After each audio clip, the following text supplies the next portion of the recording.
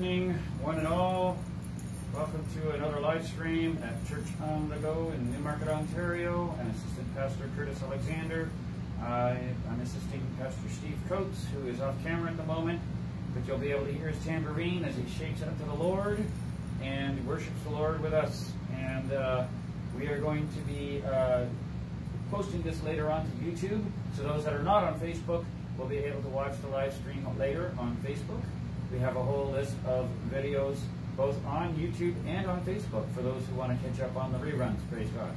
So, um, I'm just checking my uh, live stream feed here, and I see. Okay, good, good. We're on, and I see someone joined us already. So welcome, welcome, and uh, just gonna add that. Praise God. Just checking out. Good. All right. There we go. So, we want to pray and ask the Lord for His blessing, but first, just a quick reminder that there are two links on the description of this video. The first link is the link to the lyrics, so you can click on our folder and find the correct lyrics and sing along with us. Um, they're also on the screen here on the TV. Um, also, the other link is the link to our teaching graphics. So if you want to learn more, you can follow that link to our current folder of teaching graphics, which we will be referring to tonight, which we will use on the TV, but you can also see them on your screen at home if you would like. You can do a split screen on your tablet or whatever device you're using. Um, and you'll hear the buzz of the air conditioner.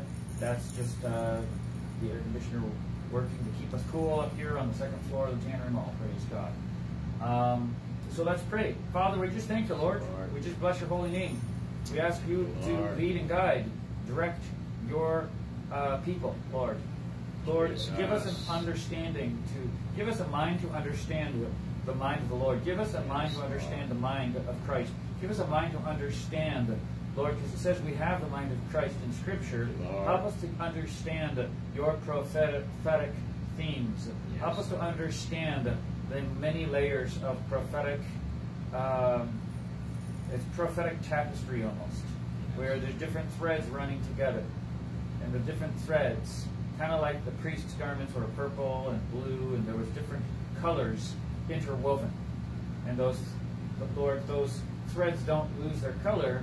But they do form a different kind of pattern or color when all combined together. But Lord, you have many weaves coming into this picture, and we want to understand how God operates on different levels tonight at the same time. So, Lord, we ask you to bless and guide and direct. Holy Spirit, lead us in worship. Holy Spirit, lead us in the Bible study. Give us ears to hear what you would say to your church tonight. Give us ears to hear. Give us a heart to understand. Uh, let us be encouraged and edified in our hope of our calling, Lord. Thank you, Father. We bless you and we worship you in Jesus' name. Amen. Amen. Amen, amen. Praise God. Let's start with the man, the book, and the city. As you know, that is one of my most recent songs now, and I have um, I added it to our I added it to our roster last year. I actually created it wrote it last year based on the man, Jesus Christ, the book, which is the Holy Bible, Amen. and the city, which is the New Jerusalem, the mother of us all. Amen. So, and then around that we can build a framework of other doctrines because it's all from the scriptures. Praise God. Amen. So let's sing it together. The man, the book, and the city. And if you feel like playing along with us, go right ahead. Grab your instruments. I know some of you that are watching play instruments. So we're in the key of D if you want to join in.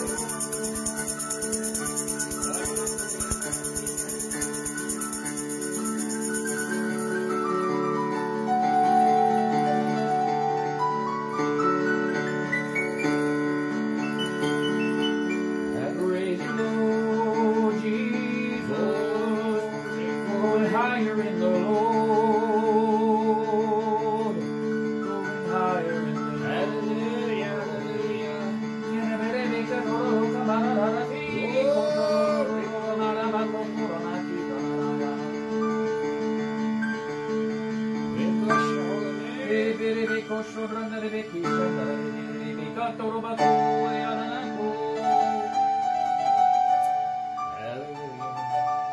Praise you, Lord. Amen. Praise God.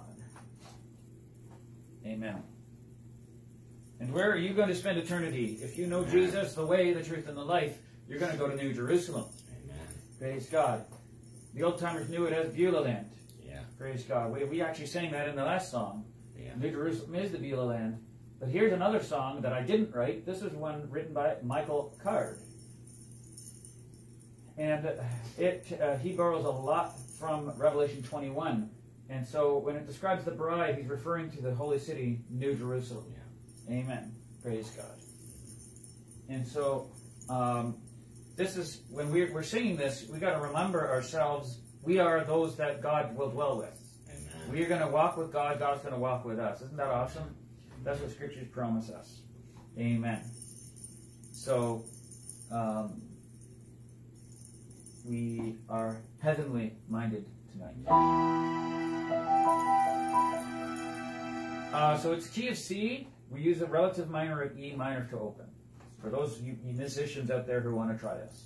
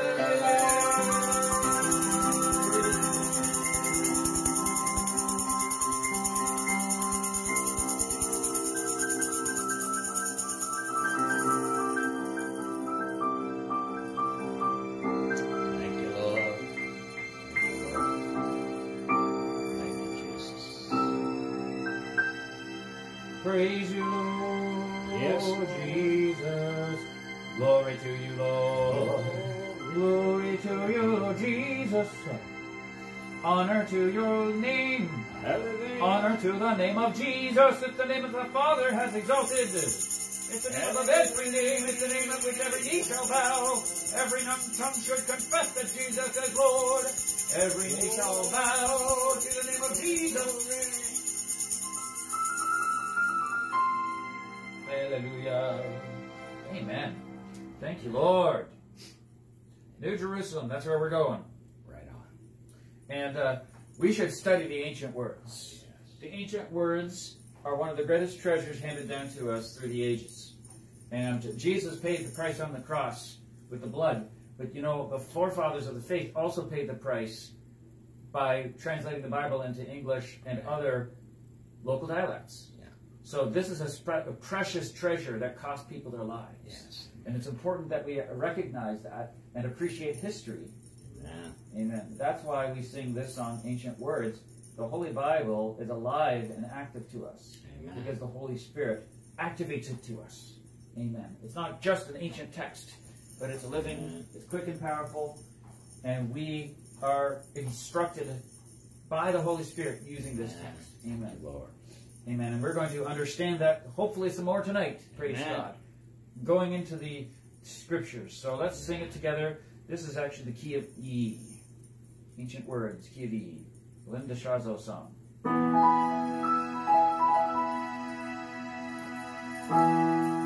Holy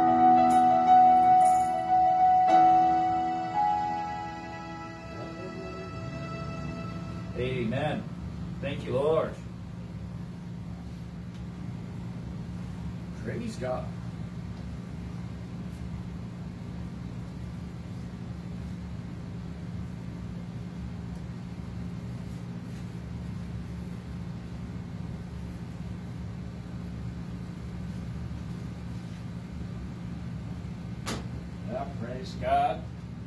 Blessings to those who are watching live and those who watch later. Amen. Amen. That's right. So our, our March calendar, we passed by St. Patrick's Day, and uh, we're here on this second last week of the month. Mr. Curtis can tell you what he's doing on Tuesday, but this Thursday coming, we're going to have a, a uh, another live stream, and it will be uh, team teaching. God, similar to what we do here, except we'll be at the front. Yep. We'll have some people in house, and uh, occasionally we have people here uh, on Sunday nights when we do this, but uh, tonight uh, it's just us. but um, uh, you can see next Sunday we have our brother Chris and sister Margot back with us again, and uh, and then of course we come to the end of the month. So uh, praise God.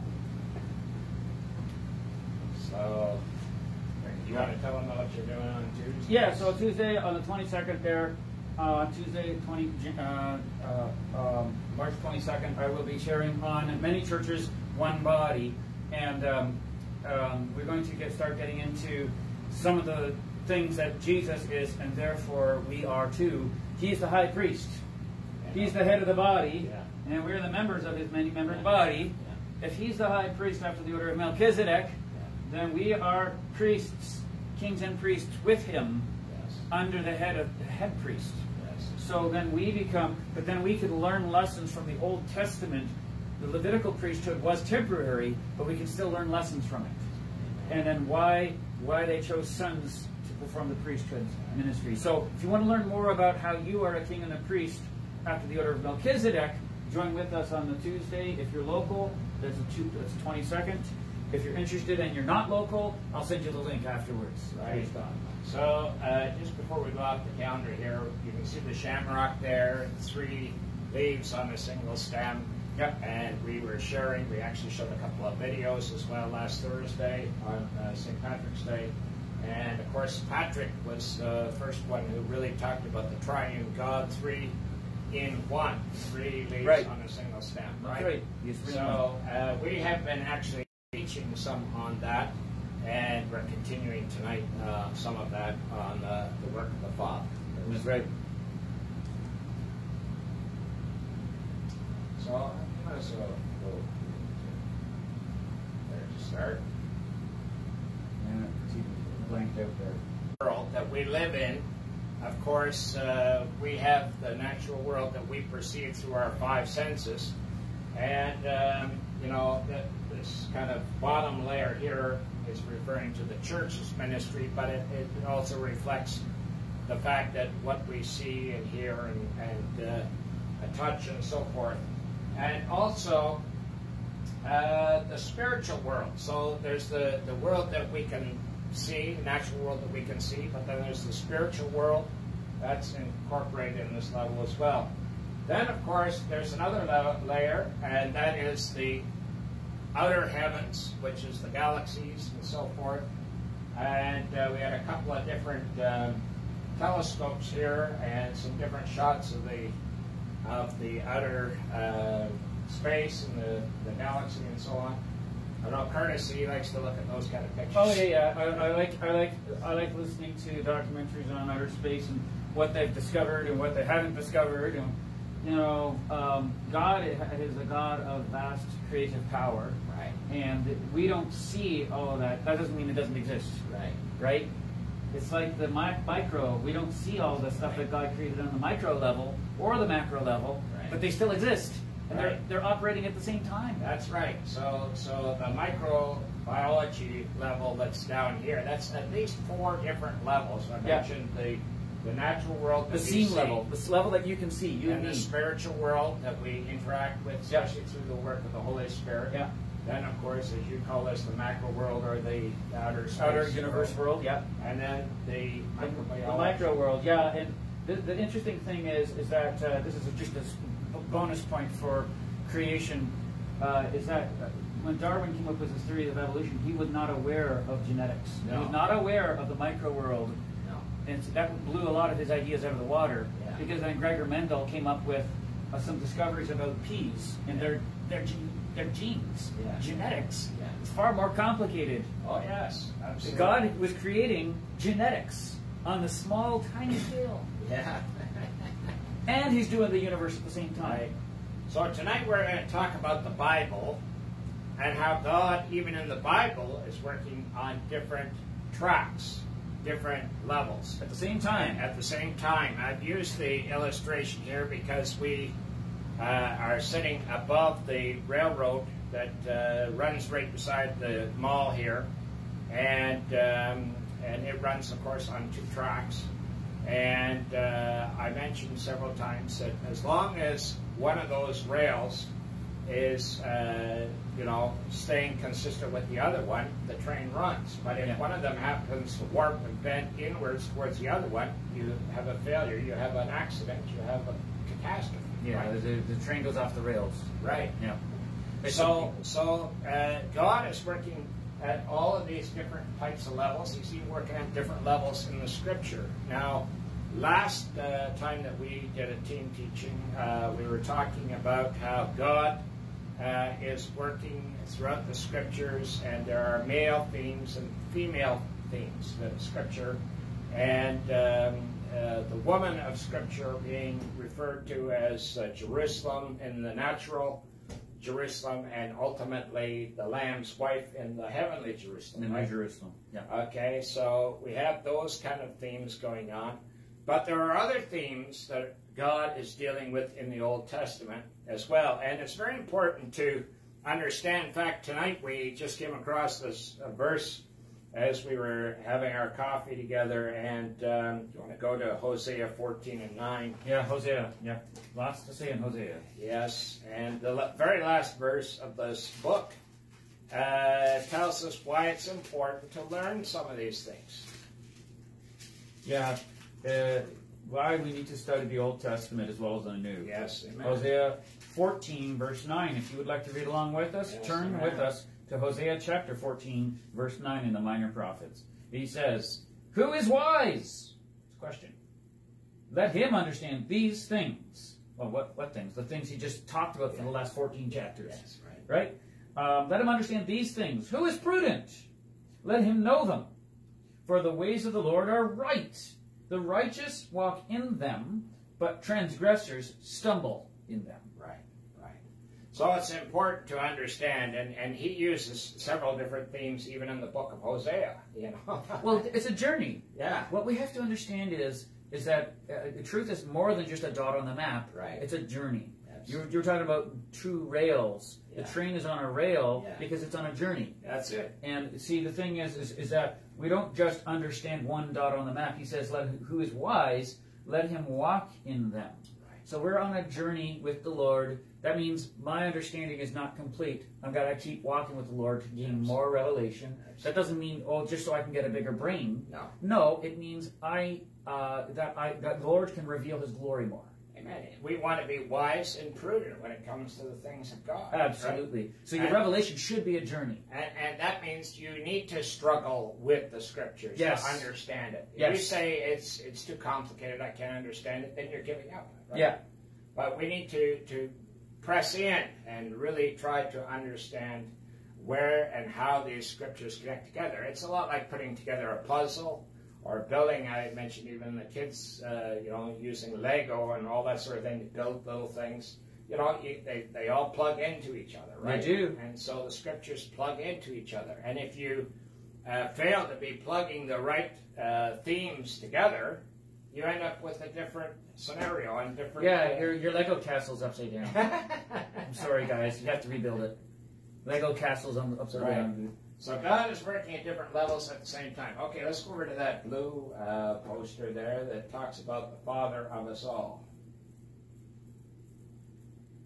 So this uh, portion of scripture comes from Ezekiel chapter 1, verse 16. It's uh, talking about the appearance of the workings of these uh, four living creatures. And it says it was as it were a wheel in the middle of a wheel. So I have a cog in the middle of a ring gear here. Yeah. Now that's that's like the workings of God. It, it's uh, like a wheel in the middle of a wheel. Or in uh, English, we might say, "Tell me the story behind the story." Right. One of the people that made that famous was Paul Harvey, and he always used to tell a story, and then he'd say, Now you know the rest of the story. yeah, well, he'd tell the story, and then they usually took a break, took a commercial or whatever, and then they come back, and he would tell the story behind the story. Right. Now you know the rest of the story, Right. because you now you know the story behind the story. Right. Yeah. So when we can know the story behind the story, we get a better understanding of the workings of God. Now we have four creatures here. These four creatures are mentioned in Ezekiel chapter 1 in this passage. They, they're mentioned again in Ezekiel chapter 10, and they're mentioned again in Revelation chapter 4 and in Revelation chapter 5. These four living creatures were uh, pictures or representations of the camp of Israel. Yeah. So this is like the Old Testament uh, tabernacle. And four major camps, and they had three, three different. If you look on the screen and pull that up on your Google Drive, you can see the, the, the different ones that are on each camp around it. But on the north side of the camp was the camp of Dan. And their standard, if you read Numbers chapter 2, ultimately fulfills this. He is uh, the eagle, our great eagle that has risen with healing in his wings. That's right. Heavenly Eagle. Yeah, yeah, So, I mean, you refer to eagles quite a bit. I do. Then we have the lion over here on the east side of the tabernacle, and Jesus is the lion of the tribe of Judah. So this is the camp of Judah here on the east side. That's right. And then on the south side, we have a man. Jesus is the Word that became flesh and dwelt among us. That's right. John 1 and 14. Well, Amen. this is actually Reuben, the camp of Reuben, Yeah. and uh, the man. And then the camp on the west side of the tabernacle is the bullock. Jesus came as the suffering servant. But That's this is the camp of Ephraim, Yeah, which is the house of Joseph. Yeah. The house of Joseph, and of course Ephraim in the natural was one of Joseph's sons. Right. Yes. So uh, I put on here on the cross what I shared uh, two weeks ago about the fact that Ezekiel 37, Curtis read that for us uh, last time, that it talks about uh, Ezekiel was told to go out and get two sticks, right? And to write on them Ephraim and Judah, Right. right? Yeah. Now, you know, uh, as we told the story, I've talked with an Orthodox Jewish rabbi about this, and, and of course his impression was that the two sticks were to be like this. But if they're like this, you can't see the names on them, right? No, you can't. So um, I was trying to tell him, you know, and he says, hold the two sticks in your hand. It, it actually forms a cross. And Jesus, of course, finished the work and brings back reconciliation between these two houses. Right. And uh, of course, as an Orthodox Jew, he wasn't ready to hear that. No, no, no, no. So um, tonight we want to talk about the Father for a few moments, and uh, and then we'll get into some other things. So let's uh, let's go first, uh, Curtis, to um, uh, Matthew chapter six, verses nine to thirteen. This is the prayer that Jesus taught his disciples how to pray, and he begins with our Father. All right. So Matthew chapter 6 and uh, 9 to 13. 9 to Follow, 13. follow along with us. Matthew chapter 6, verses 9 to 13. In this manner, therefore, pray Our Father in heaven, hallowed be your name. Your kingdom come, your will be done, on earth as it is in heaven. Give us this day our daily bread, and forgive us our debts, as we forgive our debtors. And do not lead us into temptation, but deliver us from the evil one. For yours is the kingdom and the power and the glory forever. Amen. Amen. Amen. So God is not simply just a father, but He's our heavenly Father. Right. You know, Scripture tells us that heaven is His throne and the earth is His Footstool. footstool. That's right. Amen. Amen. So that's where we are standing tonight, is on earth, and we stand here as the the feet of the body of Christ. Amen. On the earth. Amen. Uh, blessed are the feet of them who preach good news. Right. That's right. Praise God. So uh, this is uh, re- referred or revealed to us in the in the Bible. Now we talk about going out and going and telling the good news of the of the gospel of Jesus. But, you know, the good news is really uh, the blessings that have been revealed in the Bible. Yes. You know, the blessings that have been revealed in the Bible, we need to share with others, right? Yes. So, uh, praise God. We need to uh, understand that and uh, share those revealed blessings with others. Now, we are all a creation of God. Every person is a, is a creation of God, but we are not all children of God. No. So let's go over to John's Gospel, chapter 1, verse 12 there, Curtis. Yeah. Very important to distinct to make that distinction. Uh, Uh, if you don't understand uh, the scriptures properly, then we aren't wise. We start to say foolish things like we're all children of God. And I understand the intent when people say that, but in reality, they're not speaking with wisdom. it's not a, it's not doctrinally correct. Yeah. No. They're not speaking with the wisdom of understanding No. that they need to have a relationship with God. Yeah, it's got to go through Christ. John chapter 1, verse 12. Yeah, so John chapter 1, verse 12, if you want to turn there and read with us. John chapter 1, verse 12 says, But as many as received him, who's the him? Jesus, Amen. the Word. As many as received him, to them he gave the right to become children of God. Notice there's a becoming there. Right. They weren't children of God. Right. Now they are. Amen. Why? Because they've received Christ. Yes. Okay, they're- but not everybody does this. Not everybody receives Christ. Amen. So the right to become the children of God to those who believe in His name. What name? The name of Jesus. Right. And the right actually means the authority. Yes. Yeah, I have the right to be called a child of God. Right. I have the right to call God my Father. We have the right to be here in this place because we hold the key. That's right. it's right have the authority to be here. Yeah, that's right. Amen. And, and so, um, you know, today's culture is all about I know my rights. Right. But what about why don't we start with our spiritual rights? Right. I have the right to be called a child of God Amen. because I believe Jesus. Amen. I've received Him. Amen. Let's go over to Ephesians chapter 4, verses 4 to 6. Now, there are seven ones here in this passage. Uh, Ephesians chapter 4, verses uh, 4 to 6. And there are seven ones, but in the sixth verse, it tells us that we have one God and Father. So uh, that's uh, the key verse that I want to focus on. Right. So here is the sevenfold oneness of God. Yes. So here we go. Um, in Ephesians 4, verses 4 to 8. Six. Or 4 to 6. You want to go to just 6? 4, Okay. 5, and 6. All right. Um, so 4 through 6, read along with us. Ephesians 4, Yeah. verses 4 through 6. There is one body and one spirit, just as you were called in one hope of your calling. One Lord, one faith, one baptism. One God and Father of all, who is above all, and through all, and in you all. Right. So there is the sevenfold oneness of God, and in verse 6 he says, One God and Father of all. Right. So that's the title here of my poster, The Father of All. Yeah. There's one God and Father of all. And He, uh, for all believers, who is above all, and through all, and in you all. Now, it's either in a, every person as creator, or He's in every person not only as creator, but as Lord, Right. right? Because we believe. Yeah. Amen. We've called on the name of Jesus for salvation, right? Yeah. So um, that's a very important uh, truth to understand. So um, we're going to go over um, uh, to Malachi chapter 2 and verse 10. Here's an Old Testament verse that also talks about the importance of the work of the Father. Malachi chapter 2 and verse Yes, 10. Malachi 2 and 10. Let's turn together. Malachi 2 and 10. Malachi is the last book of the Old Testament. Yeah.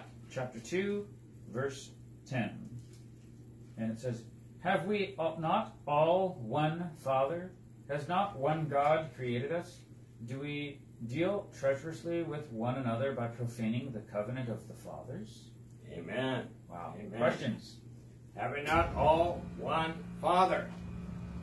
And you know, that's uh, most people today don't recognize God as Father. No. But we need to begin to understand that we can have a heart after God and we can get to know the heart of the Father. Right. As we begin to look into the Word of God and pray and ask the Lord for revelation. That's right. Or, or as you were mentioning there at the beginning, Hosea 14 and 9, that we get wisdom as we understand these things, right? Yeah, that's right. Absolutely. And so there's there's two aspects here: the Father and the Creator. Right. So right. we today in today's world, all human beings are a creation of God. Right. But only those who receive Christ are the have God as their Father. Right. They're the Absolutely. so that's how it's fulfilled in Christ. Amen. Amen. So these are all uh, important things to understand. Let's go over to Acts 17, verses 24 to 28. Acts 17, verses 24 to 28. I believe uh, Paul is standing up. 24. which You actually, verse. if you go back to 23, he's talking about, you know, the inscription to the unknown God. yeah, yeah, Yeah, You can start in 23 and go to 28 then. Yeah, okay, fine. Okay. Yeah. Okay. Uh, for okay, so he's making this, this statement in Athens, and he's he's in the midst of these people that believe in all these different Yeah, gods. yeah, yeah. Okay, so Commonly known as Mars Hill. Mars Hill, yeah. So, for as I was passing through and considering the objects of your worship, I found I even found an altar with this inscription: "To the unknown God." Therefore, the one whom you worship without knowing, him I proclaim to you. So he's taking something that's in the Greek culture Yeah, already and telling them what it is. Yeah, absolutely. That's pretty cool. Yeah. Therefore, the one whom you worship without knowing, him I proclaim to you, God who made the world and everything in it, since he is Lord of heaven and earth, does not dwell in temples made with hands. Well, the Greeks were all about the Yeah. temples. Yeah. Okay, so, um, so hello, wake up call. he doesn't need your pillars of marble. No, No, All right. Uh, then he says, nor is he worshipped with men's hands as though he needed anything, since he gives to all life, breath, and all things. And he has made from one blood every nation of men to dwell on all the face of the earth, and has determined their pre-appointed times and the boundaries of their dwelling. He appoints boundaries to dwellings? Yes. Sounds like a border. Yeah, absolutely. He, he appointed borders. Absolutely. Wow! So God's into borders? Amen. Pretty interesting.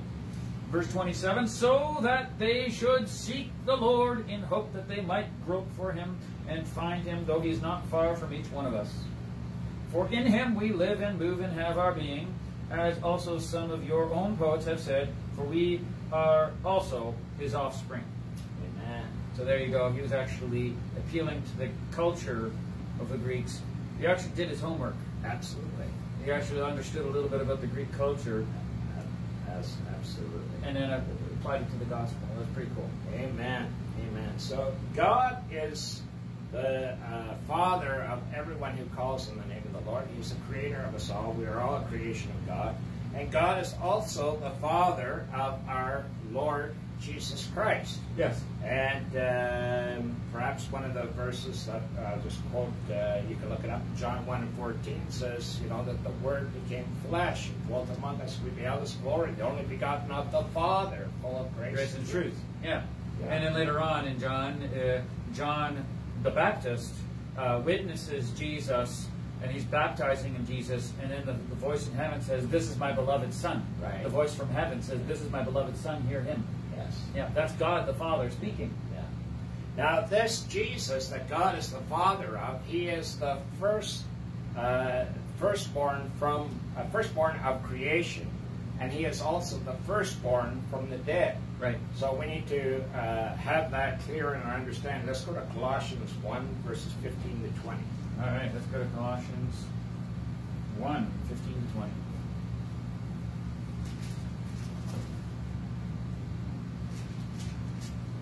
So, Colossians 1 15 to 20 says, He is the image, no, He is, that's Jesus. Yes. Jesus is the image of the invisible God, the firstborn over all creation. For by him all things were created, that are in heaven and that are on earth, both visible and invisible. Remember that first graphic we showed you with the galaxies, Yeah. the universe, all the little tiny cells? Yeah. All things were created by Him uh, that are visible on earth, visible and invisible, whether thrones or dominions or principalities, that's the spiritual, or And powers. Invisible is a different level than visible. Yeah, visible and invisible are two different levels, but apparently they're operating at the same time. Absolutely. Hello. So, you know, we have to understand there's more than one thing going on at once, and we have a, t- a tendency, as t- and maybe I'm guilty of it too. We have a tunnel vision Yeah. on our favorite topic, the scriptural topic. Yeah, yeah. But God's saying, well, you're not wrong. You just you're only seeing part one level. yeah, yeah. There's other levels going on at the same time Yeah, here. yeah. So he says here in verse, uh, okay, all things were created through him and for him. That's verse 16. 17 says, and he is before all things, and in him all things consist. And he is the head of the body, the church, who is the beginning, the firstborn from the dead, that in all things he may have preeminence. And uh, it, for it pleased the Father that in him all the fullness should dwell. That's all the fullness of the Godhead. Verse 20, and by him to reconcile all things to himself, by him, whether things on earth or things in heaven, having made peace through the blood of his cross. Amen. Wow, lots of stuff Amen. here. Well, you know, Jesus is the firstborn of creation, as we read here, and he's the firstborn from the dead. So that's a very important place to start to understand Scripture, because whether it's creation or the work of eternal life, Jesus is the beginning of it all. Yeah, he is. Amen. Whether it's the yeah the beginning of creation or the beginning of new life, Amen. and Jesus is the start. Absolutely. Absolutely. He has always been. He's the eternal one. Yeah. Anything else you want to Well, no, I, I thought that that's good. Yeah, Okay, good, good. just for the sake of Uh, time. yes, so we, we have a lot of things that we could share here tonight, um, um, but I'm going to try to expedite this a little bit quicker, I think, because of time here. Let's go to Exodus chapter 4, verse 22. In Exodus chapter 4 uh, and verse 22, we have a very interesting verse. And um, you have to remember that in Exodus, the whole um, nation of Israel is in slavery in Goshen, right? In Egypt, right? Exodus chapter 4, verse 22. hmm Let's turn there. Let's go to Exodus chapter 4, verse 22. Pages will Cooperate with me. Okay. Uh, Exodus 4, verse 22. Right. Then you shall say to Pharaoh, Thus says the Lord, Israel is my son, my firstborn. Right. So God is speaking to Moses. Go and speak to Pharaoh and uh, tell him that Israel is my son, my firstborn. Now, I know that we have been sharing previously, two weeks ago, about the whole fact that uh, a lot of scriptures that deal with Israel, particularly when they fell away from the Lord and so on, refer to Israel in a female fashion. Yes. But here in this passage, it begins with God speaking through Moses to Pharaoh that Israel is his son, his firstborn. Yeah, yeah. Well, we just read that Jesus was the firstborn from the dead and the firstborn of creation. That's right. So here, God the Father is saying that He is uh, Israel is His firstborn uh, son. So we have to know that Jesus is coming through Israel, through Mary, to bring salvation to the whole world. That whosoever will Yeah, yeah. call upon the name of the Lord That's be right. saved. So there's a process going on. There's a story behind the story. There is a wheel, you know, and a wheel in the midst of a wheel, you know, that's going on. There's it's kind of like looking at the inner workings of a watch, and you see all those little gears that are turning, Yeah. or the inner workings of a transmission. You know, Yeah, it's God more has a lot complicated. more going on. Yeah, it's more think. complicated on the inside than Yes. it looks on the outside. Yes. Okay. Yeah.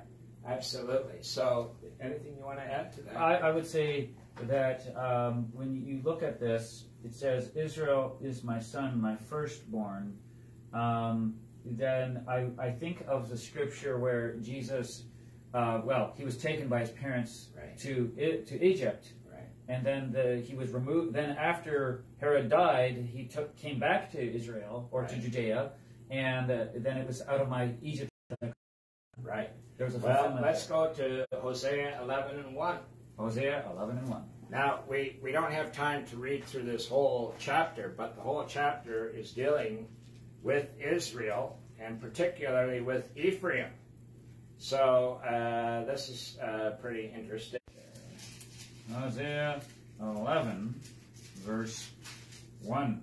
When Israel was a child, I loved him, and out of Egypt I called my son. There it is, right there. Now it goes on down, you see in verse 3 it's talking about Ephraim. It carries on talking about Ephraim through the rest of the chapter. Yeah, it does.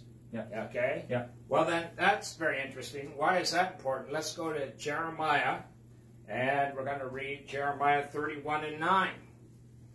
Because we have read uh, earlier that uh, Jesus was the firstborn of creation and the firstborn from the dead. But who is the firstborn of Israel? Jeremiah 31 and 9. Yes. So Jeremiah chapter 31, verse 9, turn with us. They shall come with weeping, and with supplications I will lead them. I will cause them to walk by the rivers of waters, in a straight way in which they shall not stumble. For I am a father to Israel, and Ephraim is my firstborn. Amen. Amen. Amen. I mean, you can you can uh, uh, go on there, Curtis, if you want to read uh, 10, 11, and 12. Yeah, let's go there. Yeah. Uh, hear the word of the Lord, O nations, and declare it in the isles afar off, and say, He who scattered Israel will gather him, and keep him as a shepherd does his flock. For the Lord has redeemed Jacob, and ransomed him from the hand of the strong one stronger than he. Therefore he shall come and sing in the height of Zion, streaming to the goodness of the Lord and for wheat and new wine and oil for the young and the flock uh, and the herd their souls shall be like a well-watered garden and they shall know shall sorrow no more at all Right. amen So here you have a picture of Ephraim, who is the firstborn son, right? Yes Firstborn son of of Israel, and Israel is is God's son, and God is redeeming Ephraim, who's been scattered to the nations. He says, "Go to the islands and tell." Like uh, you know, so Ephraim has been scattered all over the world, right? yes Okay. Yeah. And God says He's going to draw them back. Yeah. Right? And He's drawn them back by the spirit of adoption. Yeah. All right? So here is now an Old Testament prophetic uh, word that is coming into operation in the New Testament. We're going to go to Galatians chapter 4, verses 4 to 7. Galatians chapter 4, verses 4 to 7. yeah. All of this is being fulfilled through the Lord Jesus Christ. That's in Matthew 5 and 17. So, you know, it's, uh, and, and the, the spirit of adoption is, is here because, you know, there's no way that Ephraim even made sacrifice to allow himself to come back, right right? So God made a sacrifice when God so loved the world that he gave his only begotten son, John 3.16. that's right yeah So here we come to Galatians chapter 4, verses 4 to 7. Right. So here we go. But when the fullness of the time had come, God sent forth his Son, born of a woman, born under the law, to redeem those who were under the law, that we might receive the adoption as sons. And because you are sons, God has sent forth the Spirit of his Son into your hearts, crying out, Abba, Father. Therefore you are no longer a slave, but a son. And if a son, then an heir of God through Christ. Amen. So, you know, uh, Ephraim uh, becomes a mighty man, it says in the book of Zechariah, and uh, it's through him as he returns to the things of God that uh, God is redeeming him and drawing him back. And again, as we showed you on this little cross, uh, Ezekiel was told, put Ephraim on one of the sticks, and it's going to be uh, through these sticks that I'm going to be, uh, you know, bringing the houses back together, right? Correct. You know? Okay. That's right. The houses are coming back together through the Amen. cross. Amen. So, in order to understand now uh, the uh, the whole aspect of Ephraim, we need to go back to Genesis chapter 49. This is actually the um, uh, blessing, prophetic blessing, that uh, uh, Jacob or Israel is putting upon each of his 12 sons before he passes away. Right. He dies. That's right. So in, in uh, Genesis chapter 49, verses 22 to 26, it tells us what the blessing was over Joseph. Now, Joseph was the father of Ephraim, right? That's right. So let's uh, let's take a look at uh, Genesis 49, verses 22 to 26. All right, let's go Genesis 49, verses 22 to 26. Read along with us. There, Joseph is a fruitful bough, a fruitful bough by a well. His branches run over the wall. The archers have bitterly grieved him, shot at him, and hated him.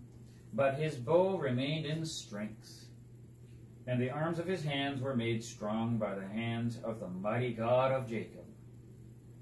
From there is the shepherd, the stone of Israel. Right. So the shepherd, Jesus, the stone of Israel, he didn't come through Joseph's line. He No. didn't come through Joseph's house. He didn't come through Ephraim or Manasseh. He No. came through Judah. Right. So the reference here of uh, from there is the shepherd, the stone of Israel. That's a reference to the uh, mighty God of Jacob. Jacob is the person through which this shepherd would come. Yes. So that he was coming through Judah. And Judah came from Jacob. Right. Right. So unless you understand these small little intricacies, you get this wrong. You think that uh, oh well, the the uh, Messiah is coming through Jo- uh, Joseph's house. No. Nope. The Messiah is coming. The shepherd is coming through Judah, who is one of the sons of Jacob, Yeah. but not Joseph. Yeah. So uh, it's it's kind of that's tied in there. Yeah, that's this- why it's in parenthesis. Right. Yeah. It's in this blessing, and the blessing is of a fruitful bough. Yeah. Now we need to understand that that the fruitful bough wasn't uh, completed just in Joseph's lifetime. That Joseph, it was. We're talking about the house of Joseph now. We're not talking just about Joseph, right? So let's go back uh, and take a look at what does the word Ephraim actually mean. Let's go back to Genesis 41 and 52. That's this uh, when Ephraim is is born. And uh, why did Joseph call him Ephraim? What's the prophetic uh, um, substance to this? So here we go, Joseph's sons. Uh, Genesis 41, 51 verses 40, sorry, verses 51 to 52. Right. Joseph called the name of the firstborn Manasseh, for God may, has made me forget all my toil and all my father's house. And the name of the second he called Ephraim, for God has caused me to be fruitful in the land of my affliction. So Manasseh's name means making forgetful. Some people are forgetful; they forget everything, yeah, leave them behind, and They're a, for, they're a forgetful Jones, yeah, right. and they But- forget everything. Yes, Yeah, but Ephraim actually means to be fruitful, right. Right? Here, but he, Manasseh is supposed to be a positive name, though, Yeah. because he forgot his affliction. Yeah, he forgot his affliction, right? Right. Some people just forget. Period. Yeah, no, that's right. What did I leave behind? Uh, that's good. You got the good good out of that. Yeah. The positive out Yeah. of Manasseh. But the focus here is on Ephraim. Ephraim becomes the firstborn's blessing. Yes, yes, because we just read it in Jeremiah 31 and 9. Right. He is the firstborn. Yeah, and yet here in the natural, he's not. So the- fr- So what gives? Fruitfulness is God's plan, God's purpose for the spirit of adoption to bring forth fruitfulness as we come back into fellowship and back into Right. relationship with God. Right. Okay, so Yeah, that's absolutely um, right. So that's a, a, a tremendous uh, uh, revelation there. In fact, if you want to go back even further, God had promised uh, to Abraham. You want to go to Genesis uh, 17 and 6, God had promised to Abraham that through him fruitfulness would come forth. And who, who knew that, you know, several generations later, Ephraim would be born, who had a name meaning fruitfulness. Yeah. Okay? Well, God knew that. And that's fulfilling the promise given to Joseph, his father, that the, the, the vine would go over the wall, That's which right. means would leave the house, right? Yeah. Go beyond. Yeah, that's right. It's going a, a, be- about beyond the borders. Amen. I got a neighbor who's got an apple tree, and his boughs come over my fence. You know, I'm all the time pushing his, and then of course the wind comes or something, and they flop back over. yeah, right. okay, so Genesis 17 and 6. So Genesis 17 and 6. Turn with us and read with us here. For I will make you exceedingly fruitful. This is to Abraham now. I will make nations of you, and kings shall come from you. Amen. So this is it, exceedingly fruitful. Amen. That's it. That's really the meaning of Ephraim's name. Yes, it's fruitful. Yeah. And, and of course, uh, Joseph's mission was to have a fruitful vine that would go over the wall. Right. Right? Well, this is already prophetic of a, a, a man that is going to be known as the branch man who will bring forth fruitfulness from which we get the spirit that has been put in our hearts by the spirit of adoption. You know that your spirit of adoption that you receive as you receive Christ in you, the hope of glory, comes from the branch man. Yes. Let's go over to Zechariah chapter 6, verses 12 to 13.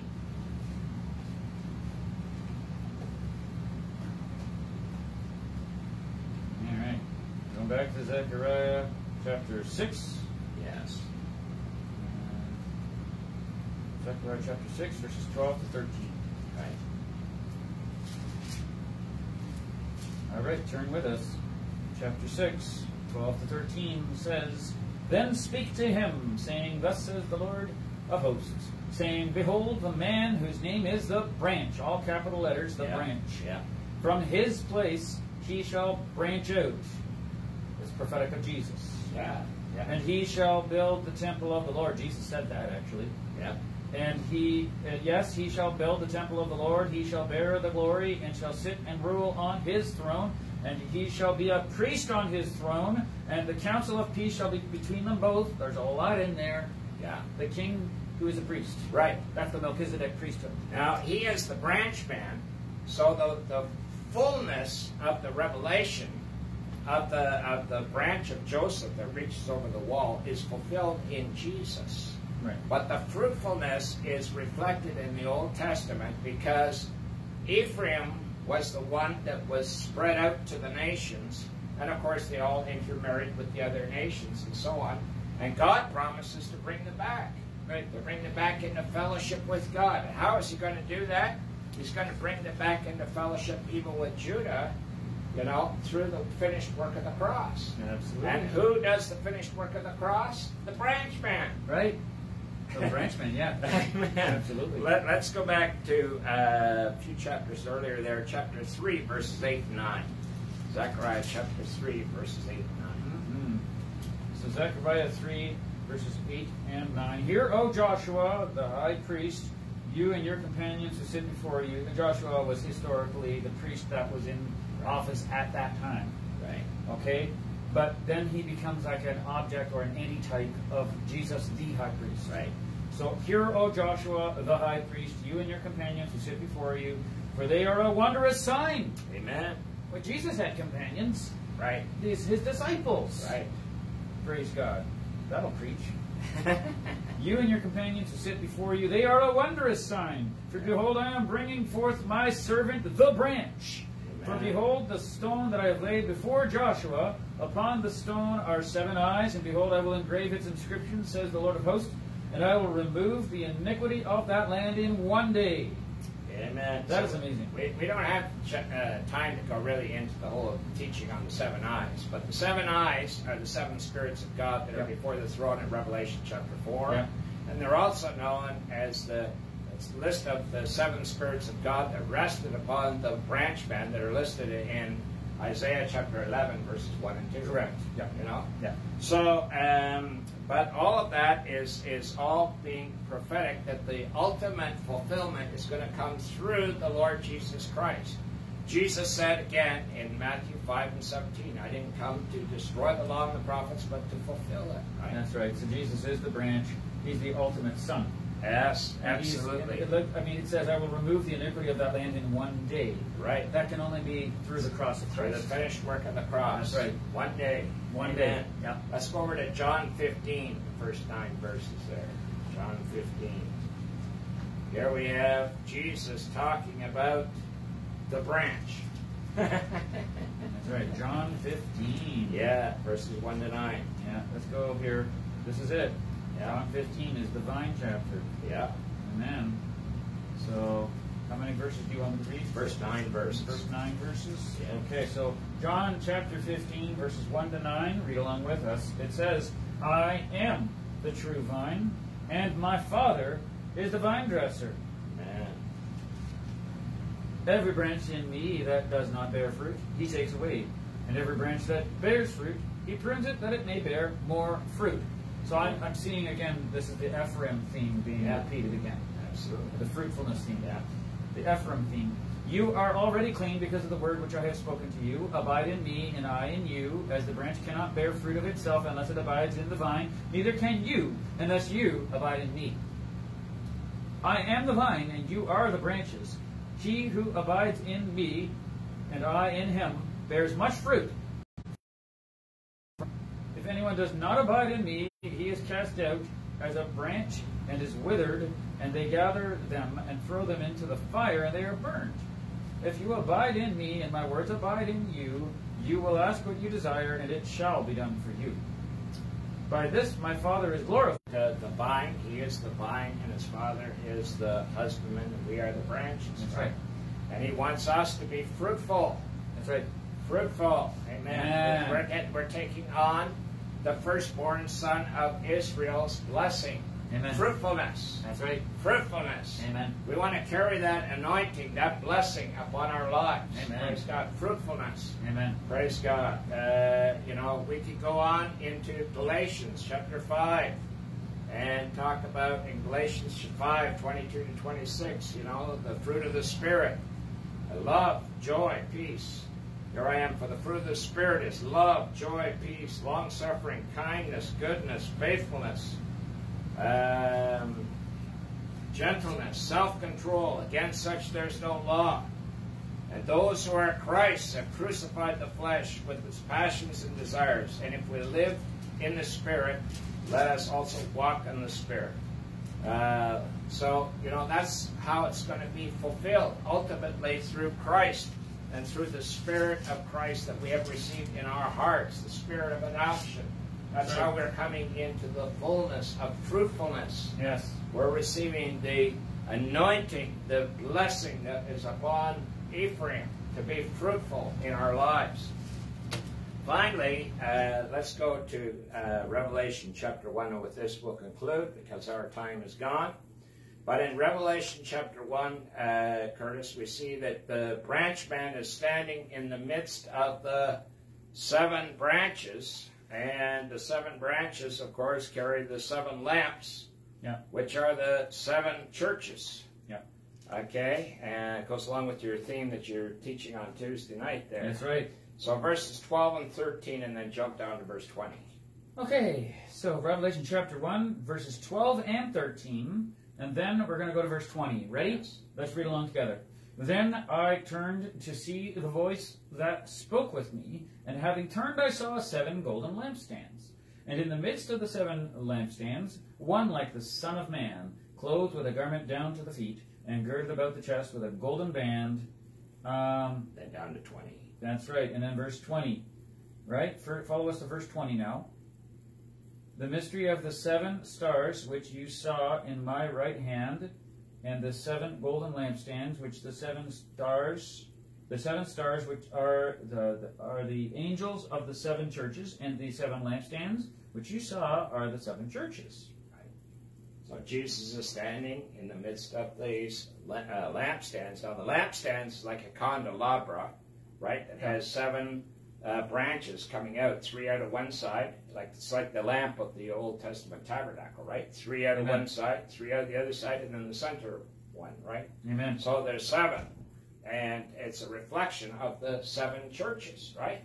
But Jesus is in the midst of the of the, the branch, Amen. you know, the branches, right? And he is. Praise God. So uh, the fruitfulness of Ephraim is uh, really fulfilled uh, through the spirit of adoption uh, that we receive and uh, and the uh, ministry of the branch man that uh, we have entered into when we receive Christ. Praise God. Was there anything that was jumping out there that you wanted to? I just see there's a connection between Ephraim, the fruitful bough, Joseph's fruitful bough, Ephraim, and then the fact that Jesus calls us to be fruitful through him. Yeah. He is the branch man uh, that was prophetically shown as jo- you know Joshua was the priest at the time. Jesus is the ultimate king priest. Right. He's the branch man. We're the branches. We bear the fruit. Right. Amen. So we have this theme of of the firstborn son running parallel to the theme of the bride in the Old Testament. Yes. We have the, the formation of the cross. You see the cross in the camp? Yeah. The cross, the two sticks. Yeah, the camp actually forms a cross as Yes. well. Yeah, yeah. And then you have the cross with Ephraim and Judah. Yep. Which is, uh, you know, the two sticks that, you know, could be looked at this way or, or this way. Praise God. All right. So, praise God. It's all fulfilled in the Lord Jesus Christ. Amen. So let's uh, pray together. Thank you, Lord Jesus, that uh, there are many things that you're doing on different levels throughout the scriptures. And uh, Lord, uh, you call Israel your son, and it's through Israel that Ephraim comes forth. Because uh, Israel, prior to being called Israel, was Jacob, the man who had a family that became, you know, uh, 12 tribes and a nation, right? Yes. And Ephraim uh, is the house that, uh, or the house of Israel, the, the, the kingdom of Israel that went their own way and were sown into the nations. But God wants to bring them back, and He's bringing them back through the finished work of the cross. Yes, Lord. And Lord, we thank you that we can become sons, adopted as sons of God, Lord, and that we can come into that fellowship with the Father. You are Father of us all. And Lord, it's through you that we can become fruitful. We can have that anointing, that, that, that blessing that was on Ephraim, Lord. We can have it upon our lives. It wasn't just on Ephraim. I mean, it was given to Abraham, and then it was given to Joseph, and then it was given to Ephraim. And Lord, we can have that fruitfulness, the fruit of the Spirit, which is love, joy, peace, long suffering, and gentleness, meekness, faith, and so forth, that has been given to us by the Holy Spirit. So, Lord, I pray that you lead us and guide us into all truth now, Father, uh, for the glory of God, in the mighty name of Jesus. And we give you thanks, Lord. Amen. Father, I thank you, Father, for uh, building upon each layer, Father, helping us to understand that, Lord, there's more to it than what we already understand. Lord, uh, we, we've understood so much, but we have got more to learn. Yes, and we are on this journey, Lord, just like uh, Hosea says in his final uh, verse Yes. in chapter 14, verse 9, he says that those that are wise should understand this. The righteous walk in them. Walk in the wise statutes of the Lord, the righteous judgments of God. We're walking in them. It's Amen. a journey. Yes. Lord, we're taking one step at a time. Yes, we understand uh, Uh, aspects of the bride from the Old Testament, and we're now understanding aspects of the Son from the Old Yes, Testament. Lord. it- it's not just one layer, but Lord, it's many multiple layers, like the macro, the micro, and the seen world, and the unseen spiritual world. Yes, Lord, Lord. there's so, so many different worlds. Yeah. God has created the worlds. Amen. Uh, you know, I think there's a scripture that says that worlds, plural. Yes, God has created many worlds. and he's building it line upon line and precept That's upon right. He's precept. building it line upon line, precept upon precept. So Yeah. we are excited Yes, to go on a continual journey of dynamic understanding, dynamic growth of revelation. Our revelation Lord. continues to grow dynamically by the power of the Holy Spirit as Yes, we read Lord. the ancient words of your holy word, the Holy Bible, and Lord, the Holy Spirit brings them to life to us, revealing your Son, Jesus Christ Yes, Lord. revealing the glory of God. So, Lord, bless these fine folks who have been watching us live, and bless those who will watch us later. Amen. That will watch us on YouTube or Facebook later on. Yes, Lord. bless them and encourage them, and let them be edified by your Spirit and by your Thank you, word. Lord. In Jesus' name we pray.